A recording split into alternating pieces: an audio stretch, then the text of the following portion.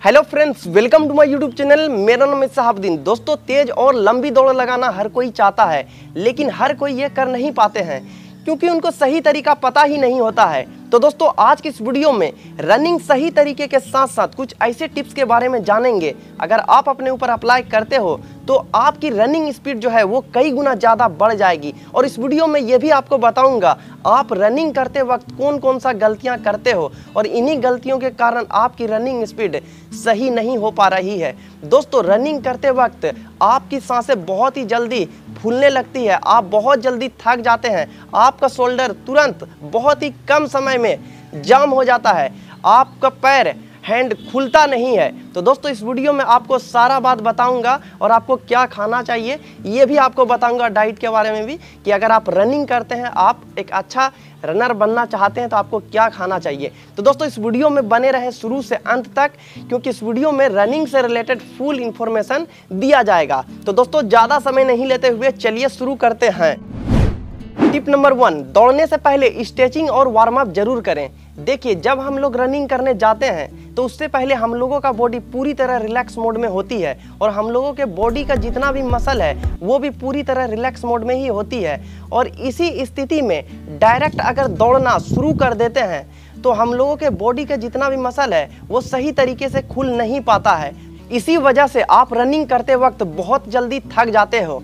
और आपकी running speed भी अच्छा नहीं हो पाती है, बढ़ नहीं पाती है। तो दोस्तों, आप जब भी रनिंग करना शुरुआत करें तो आप स्ट्रेचिंग या वार्म अप ज़रूर करें। दोस्तों, अगर आपको वार्म अप करना नहीं आता है तो आप हमारे इस वीडियो को देख सकते हैं। कुछ दिन पहले मैं इस टॉपिक पर वीडियो बना चुका हूँ। लिंक डिस्क्रिप्शन में दिया गया है।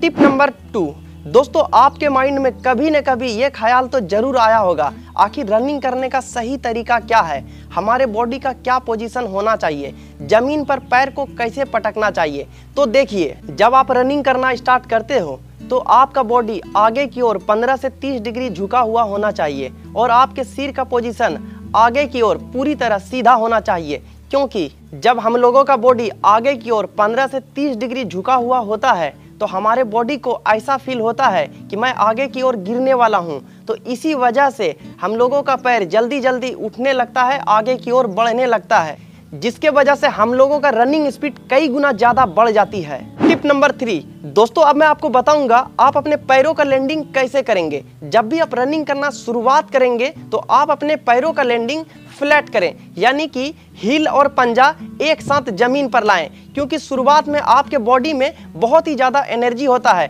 थोड़ा सा रनिंग स्पीड स्लो रहेगा आपका, लेकिन आपके बॉडी में बहुत ज़्यादा एनर्जी होता है, ताकि आपको लास्ट राउंड तक अच्छा परफॉर्मेंस देना है अच्छा करना है, इसलिए आपको एनर्जी को बचा के रखना है। अगर आप शुरुआत में ही आप अपने पंजा पर अगर लैंडिंग करेंगे तो आप बहुत ही जल्दी थक जाएँगे। दोस्तों, जब आपका लास्ट राउंड बचे या दो राउंड आपका जब बचे तो आप अपने पंजा पर ही लैंडिंग करें। दोस्तों, इससे आपका रनिंग स्पीड बहुत ही ज़्यादा बढ़ जाएगा। टिप नंबर फोर दोस्तों, अब मैं आपको बताऊँगा रनिंग करते वक्त सांस कैसे लें। जब भी आप रनिंग करना स्टार्ट करते हैं तो आपको शुरुआत में नाक से सांस लेना है और नाक से सांस छोड़ना है, क्योंकि उस टाइम आपके बॉडी में बहुत ज़्यादा एनर्जी होता है, शुरुआत होता है आपके रनिंग का। तो उस टाइम आप नाक से सांस लें और नाक से छोड़ें। जब आपको लगने लगे कि थोड़ा थक चुका हूँ तो आपको उस टाइम मुँह से सांस लेना है और नाक से छोड़ना है। जब लास्ट लास्ट में आपको लगे कि पूरी तरह थक चुका हूँ, आपको ऐसा फील हो तो उस टाइम फिर आपको क्या करना है? दोनों काम करना है। मुँह से सांस लेना है, नाक से भी सांस लेना है और दोनों से छोड़ना है। मुँह से, नाक से, दोनों से सांस लें और दोनों से छोड़ें। तो इसी तरह अगर आप करेंगे तो आपका रनिंग बहुत ही अच्छा होगा और आप अपना रनिंग भी कंप्लीट कर लेंगे और भी लोगों से बेहतर परफॉर्मेंस करेंगे। टिप नंबर फाइव दोस्तों, अब मैं आपको बताऊँगा, अगर आप रनिंग करते हैं तो आपको क्या खाना चाहिए ताकि आपको रनिंग करने में बहुत ही ज़्यादा हेल्प मिले? दोस्तों, रात में चना, मूंग, सोयाबीन का बीज, ये तीनों को फूलने के लिए दे दें।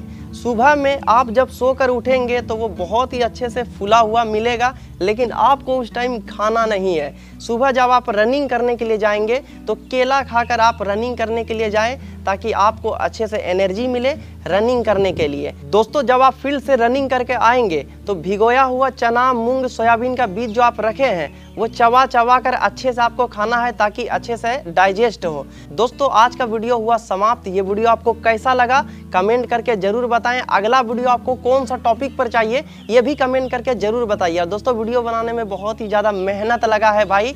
तो आप लाइक ज़रूर करें। बहुत ही ज़्यादा मेहनत लगता है। धूप में बैठकर वीडियो बनाना पड़ता है भाई, देख सकते हैं। और ये इतना देर का ही मेहनत नहीं है जितना देर आप देखें, वीडियो सिर्फ़ देख लिए।